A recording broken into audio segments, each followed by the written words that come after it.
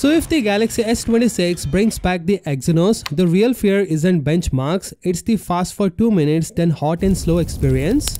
Today's leak suggests Samsung is trying to fix that with a much more serious Exynos chip, but the trade-off could be regional confusion and which version I am buying anxiety.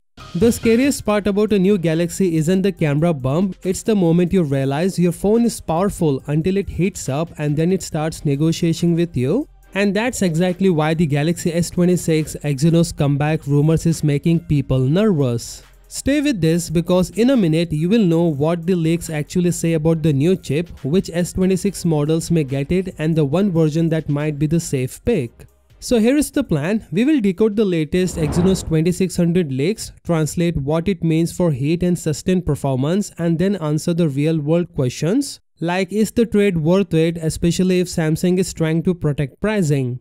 According to reports, the Exynos 2600 is said to build on a 2nm process and use a 10-core CPU. The same leak lists a prime core up to 3.9 GHz, 3 performance cores at 3.25 GHz and 6 mid cores at 2.75 GHz. And for graphics, it's rumored to use an AMD Juno GPU clocked at 985 MHz.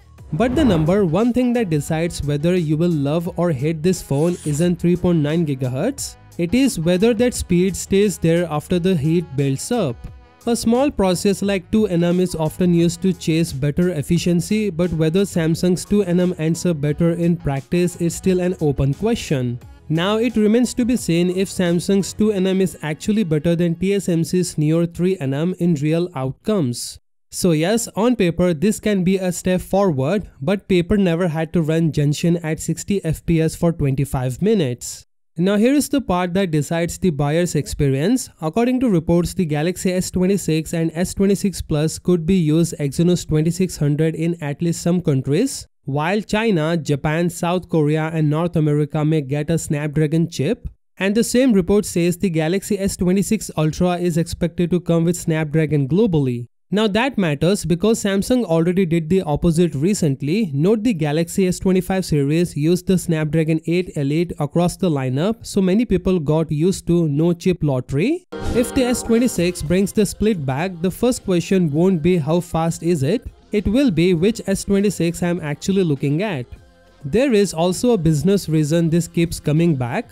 The industry insider says Exynos success is important to Samsung because it can improve profitability for its smartphone and chip business and help secure market leadership. Translation If Snapdragon is the expensive rent, Exynos is Samsung trying to own the house. So if you are worried about performance and overheating, don't let the launch keynote decide your money. When reviews drop, only trust these stress points. 15 to 30 minutes sustained gaming FPS, not the first 60 seconds. Temperature over time, not it got warm, actually trend. Throttling behavior, does it step down gently or fall off the cliff? Battery drain during sustained load, heat usually takes power with it.